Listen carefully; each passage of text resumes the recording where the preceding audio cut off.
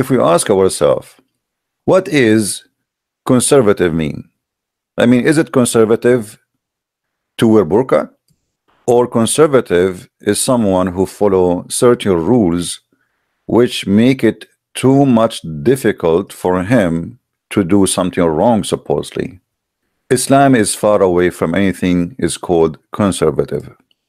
All what Islam does, it legalize adultery, legalize prostitution, legalize everything forbidden in Judaism and Christianity. And we will prove it to you, one by one. As an example, what is adultery in Islam? In the Bible, Jesus said, if a man he wish a woman just by looking at her by, by his eyes, just by looking, he committed adultery. That's it. Because you see, the, the problem is there's many Christians, they think that we and Muslims, we share the same value or we share the same thing. Okay, Christianity forbid adultery, Islam forbid adultery. That's absolutely a big fat lie. Islam never forbid adultery. What Islam does, Islam use the word adultery, but allow it under different, let us say, cover. And we'll give you many example. A man, his name Hassan al-Tammar, or Nabhan al-Tammar, sorry. He came to the Prophet and he said to him, Yesterday, I I met a woman and I did with her everything the man he do except intercourse. The Prophet said, maybe her husband is uh, is doing jihad. Muhammad said, not me. Maybe her husband is doing jihad. The man he just admitted, and Muhammad he did not even rebuke the man, saying to him, "Shame on you." He said to him, "Don't worry. This is you know this is nothing. This is lemam.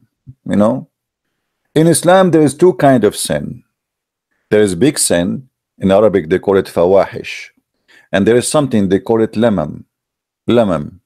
What is lemam? If I tell you what lemam is, you will not believe it.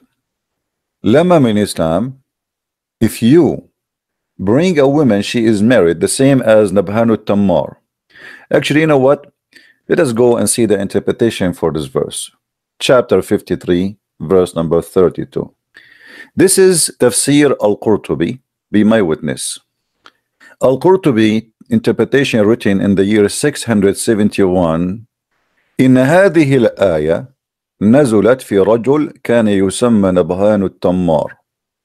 إن هذه الآية نزلت في رجل كان يسمى نبهان التمار. كان له حانوت يبيع فيه تمرا فجاءته امرأة تشتري. منه تمرا فقال لها إن داخل الدكان ما هو خير من هذا؟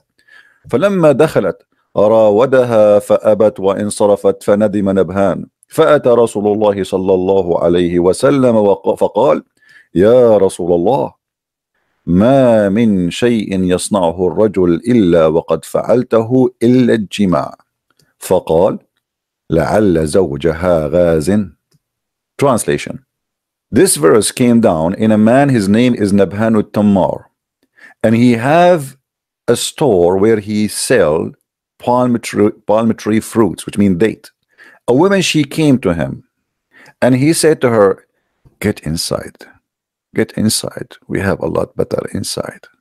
So she got in. And when she got in, he tried to do intercourse with her, but she refused. And she left.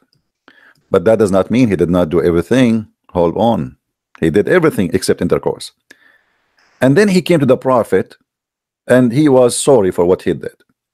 And he said to the messenger of Allah, O messenger of Allah, Nothing a man can do with a woman I did not do except intercourse. The Prophet said, maybe her husband is going to do jihad. So Allah he sent down this ayah.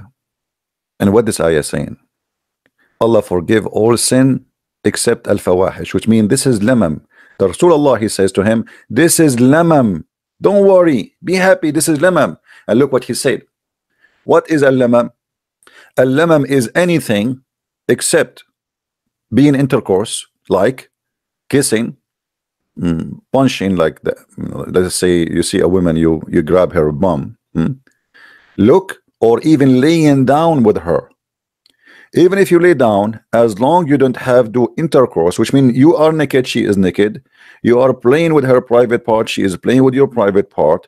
You are kissing, you are touching. It doesn't matter. This is all is called lemam. This is not adultery in Islam, and there's no punishment for it. And not only that, Muhammad, uh, he said that adultery human being he does, it is not a choice.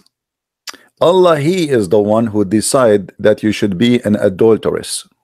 Read the hadith with me. This is Sahih Muslim.